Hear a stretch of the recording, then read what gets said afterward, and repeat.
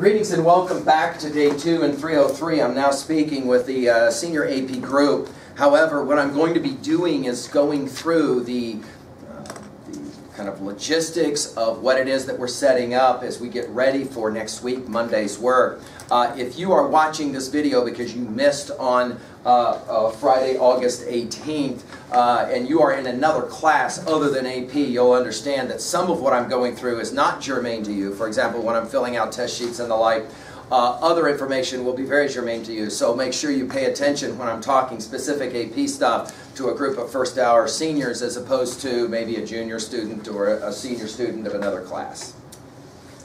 All right, the first thing I want to say, and it's all on my whiteboard, and uh, right away, we should have now taken care of all of your text information and everything is uh, written down on your Omega file. The first thing I want to do is to just review a couple of rules that I don't know that I went over with everybody yesterday. One quick rule, and it's on my whiteboard, is uh, first of all, we want to make sure, and, and let me just pause for a moment and point this out. The first thing you always want to do when you come into 303 at the beginning of a class always scan my whiteboard just to get a sense of what it is that we are going to be doing for the day. Granted, my handwriting is nigh illegible and you will probably ruin your eyes trying to grow accustomed to reading my handwriting. I can only promise you it will get worse as the year goes on, not better. So I'm sorry, I'm sorry about that. Uh, so check the whiteboard and you can see uh, I have a prodigious list there that I'm going to try to cover now in the next 45 minutes. I'll, I'll do my best to get through it all, all right? The first thing I want to point out is um, uh, to make sure that we are, here again, just reviewing some rules here. Um, the, the idea of monkey mind. We, uh, we mentioned this in one of our early lectures in the introductory uh, comments about uh, 303. And the idea is that we imagine our mind as a monkey locked in an iron cage with a fire burning underneath it. Of course, every time the poor monkey touches the iron cage, starts jerking around all over the place and squealing. Then in come bees or hornets to sting the poor monkey. And then, of course, darkness. So this poor monkey trapped in this cage screaming and jumping all around. Of course, we use this word picture to suggest this is our mind, often. And uh, we're going to witness it possibly even in this presentation, where it's going to be very normal for us to turn maybe to our colleagues and, and all that kind of stuff, as opposed to making sure that we're really focusing. So I'm really going to challenge you this hour. Have out a blank sheet of paper or two in front of you. Have out your day planner in front of you. Have out your course outline in front of you. Have out the uh, other information, the paraphernalia of yesterday's day one packet. Kind of have it available to you. If you haven't set up your notebook yet, then that means you're probably going to have papers all over the place. If you've already set up your notebook, then you know all the papers that we were working with yesterday will be for you in the master schedule section of your notebook. We'll get to that in a bit. So that way, you're as organized as you can be so that as I'm working through this intelligence with you, you can pay attention enough and focused enough to know exactly what's going on. Much of today is going to be given to outlining the deadlines that are coming August 2 5 Friday, a week from today. Some of today will be outlining the work that we will begin to do as early as Monday. Okay? In our annotative work, especially the kind of reading and that kind of thing that we'll be doing. All right? So that's, that's a significant one for us. Um, the, the, uh, the next one that I want to point out really quickly is this idea of, just to remind, hand up, hand down. If, uh, if while I'm going through this information or any information the time you're with me, if I lose you and the choo-choo train has left the train station, I think we might have said it that way yesterday, uh, and you're not on the train, then hand up, hand down. I won't call on you. I will just simply know that's code language for you need to back up and you need to start over from where you were before. And that way I'm not so lost as to exactly what's going on. Also, you can always, of course, ask questions here at the conclusion of our session, uh, you know, if you're not exactly sure. Or you can always text room captain and she can respond or he can respond to the questions. All right?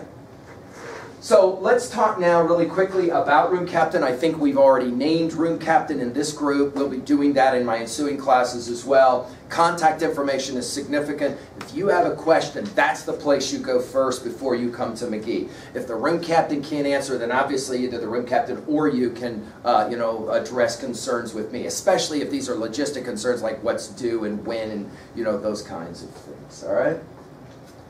Uh, I would say, by the way, to room captain, that if any student is absent today, you can let the student know that our presentation is videotaped here and therefore you're able to watch it online. I'll just post it on the homepage directly as the day two information or something like that. I would also say, because this is being recorded, that you also can go back and review if for some reason you didn't quite hear or can't remember what I said, all right?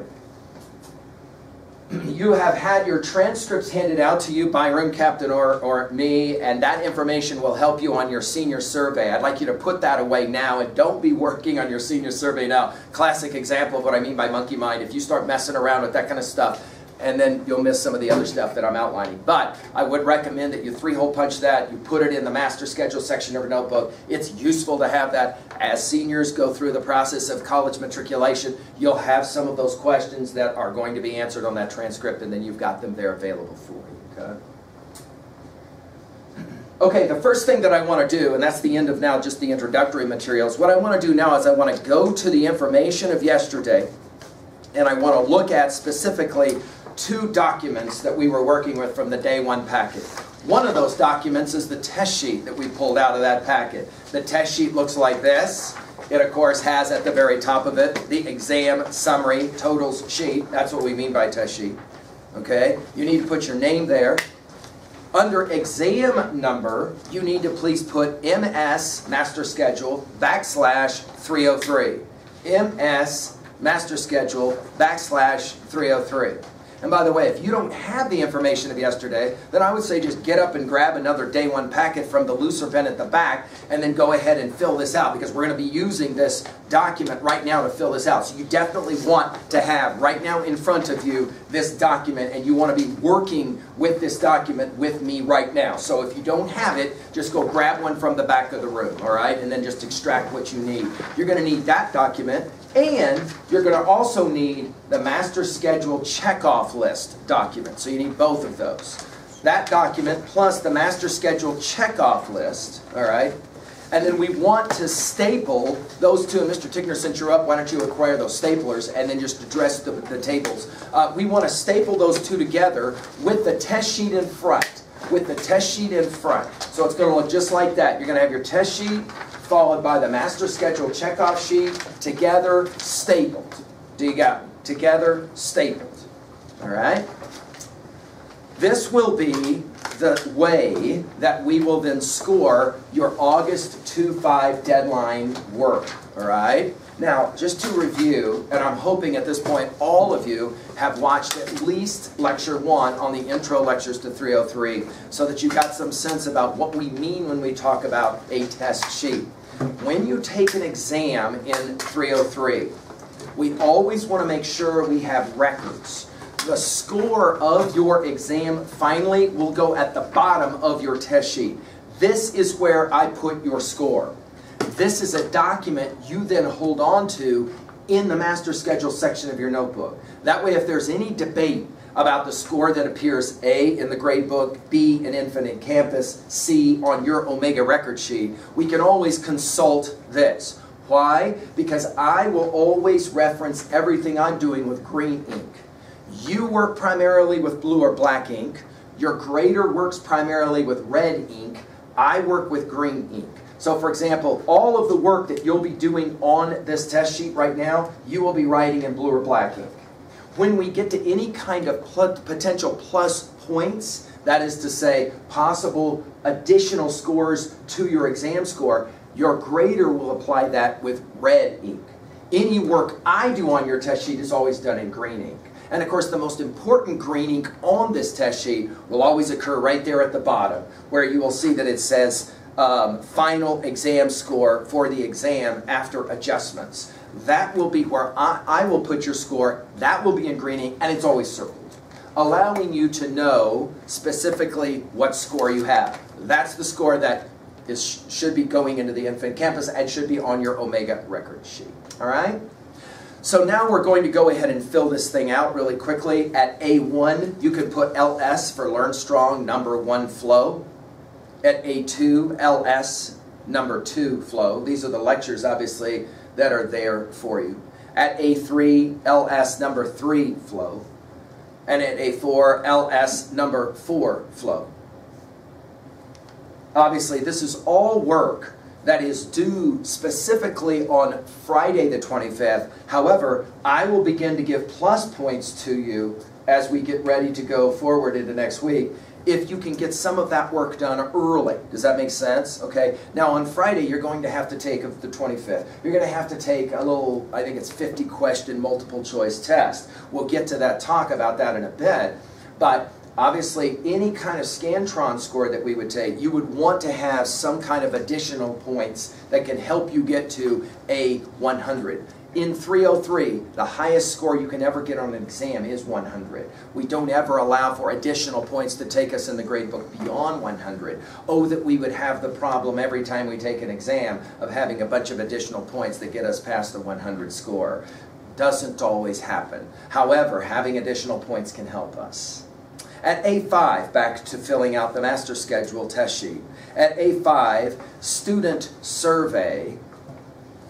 A6, typed goals. A7, this one is your rules sheet signed. A8, this one is your plagiarism sheet signed. A9, this is your parent view of LearnStrong videos. And A10, this is the 303 study guide. Okay, any repeats? 1 through 10? 8 was plagiarism sheet signed. Anybody else? 10.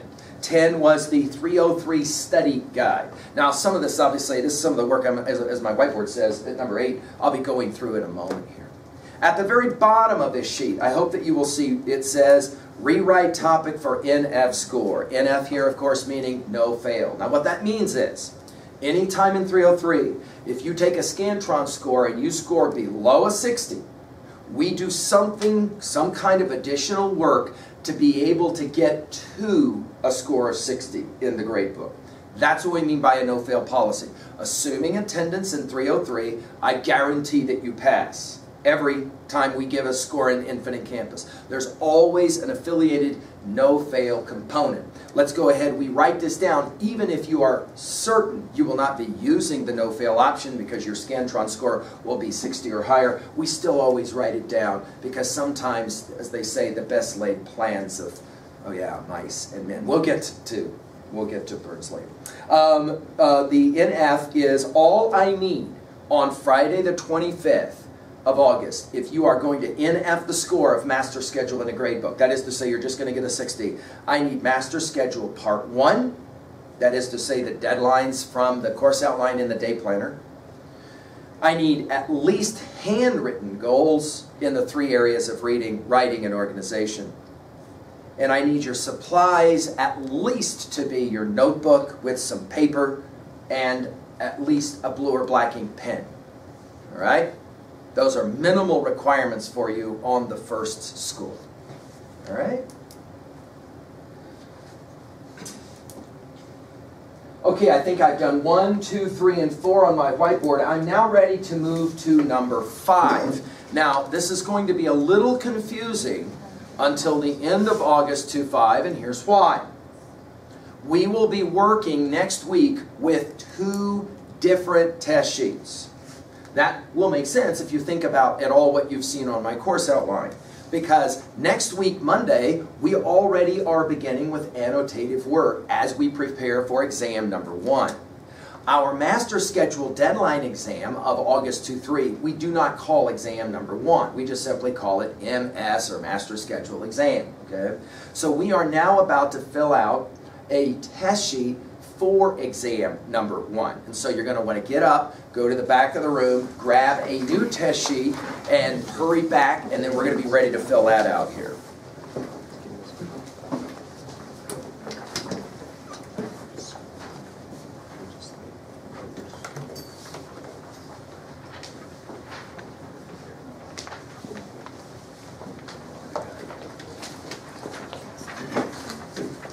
Now, because this, uh, th these test sheets are an important part of our record keeping.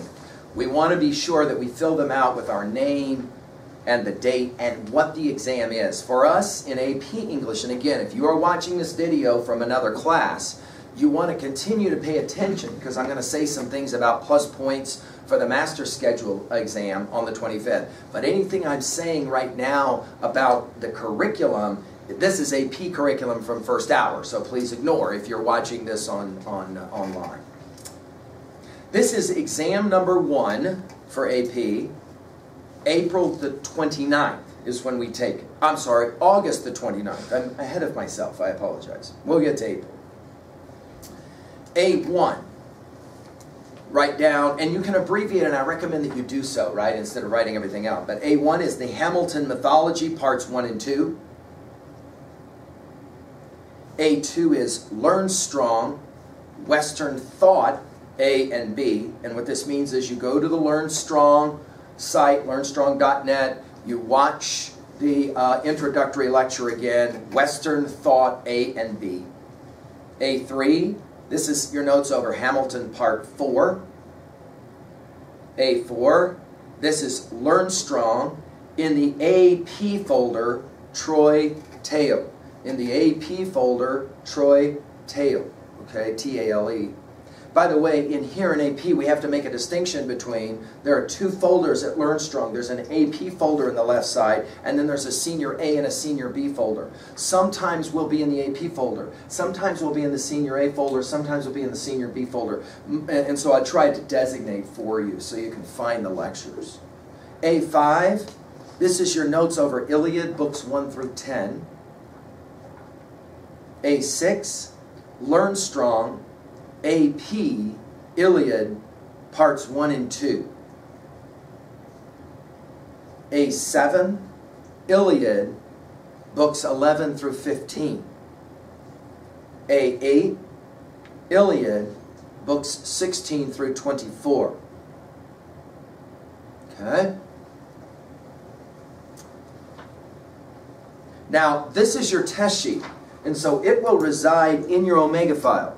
But what some students will do is they just simply take out their phone and they take a picture of their test sheet so that that way they have a kind of record of what it is that's due. Now, what did I just write down, Mr. McGee, on A1 through A8? Those are the pieces of information that you will be tested over on August 2-9.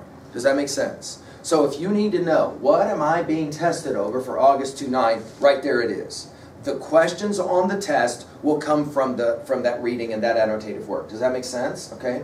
Now, wait a minute. What about um, like like I'm doing all these annotations. So like when do I hand those in for grades? That's what we call the reading writing assessment packet.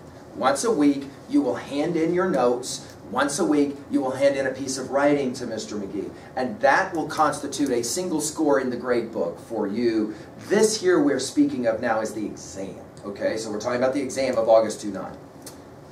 Now that is a Scantron instrument, and of course demanding, so we always are trying to look for some potential additional plus points. Look down at B, section B of this, of this sheet. We have some plus points, let's fill it out. Now I'm going to go through master schedule review. I normally do that just on Wednesdays, but I'm going to do that here in a bit with your day planner just to amplify what the course outline says so you know what some of this is. But let's go through it now. At B1, you want to write down MC for multiple choice. MC questions Iliad 1 through 10. At B2, MC questions Iliad 11 through 15.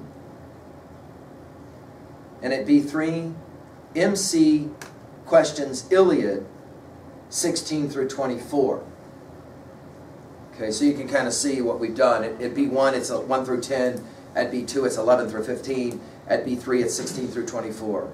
And I'll explain in a bit what that means, but you, here, here's some potential plus points for you. Okay. Now, sometimes these, these plus points are also potentially negative points. So for example, memorize Shakespeare's Sonnet 116 and recite it before the examination. If you do it, you get plus 14. If you don't get it, you get minus 14 on the Scantron. So sometimes it's a plus minus gig.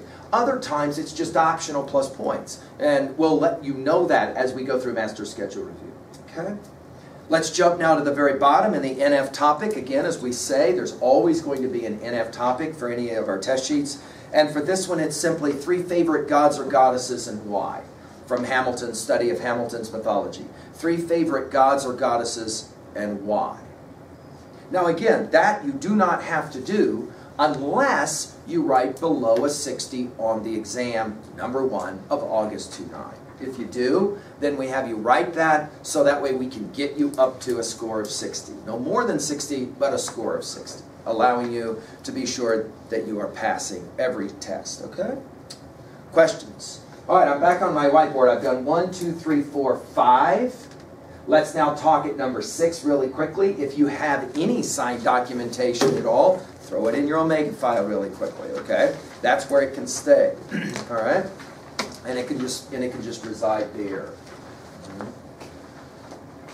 We'll have, uh, we'll have um, uh, plus points for that kind of stuff next week. I won't be giving it right now. We'll have plus points. Some of you, however, will point out, and you can do this really quickly if you've got that signed documentation, go ahead and look at your master schedule test sheet really quickly, and you'll see that that, for example, um, rules sheet signed was A7, wasn't it? Right? So you can actually check off in blue or black ink that that's done for you. Anytime you're keeping records on your test sheet, you do it with blue or black ink. So you can check off that that's done for you. However, we won't give plus points until next week, and when we do, the plus points will be given either in red ink by a grader or in green ink by me. And sometimes that's the way we do it. I just stand here at the podium and I say, if you've got your, your rule sheet done, come up real quickly, bring your test sheet with you, you hand me your test sheet, you show me it's signed, I give you some points. Good idea, good idea.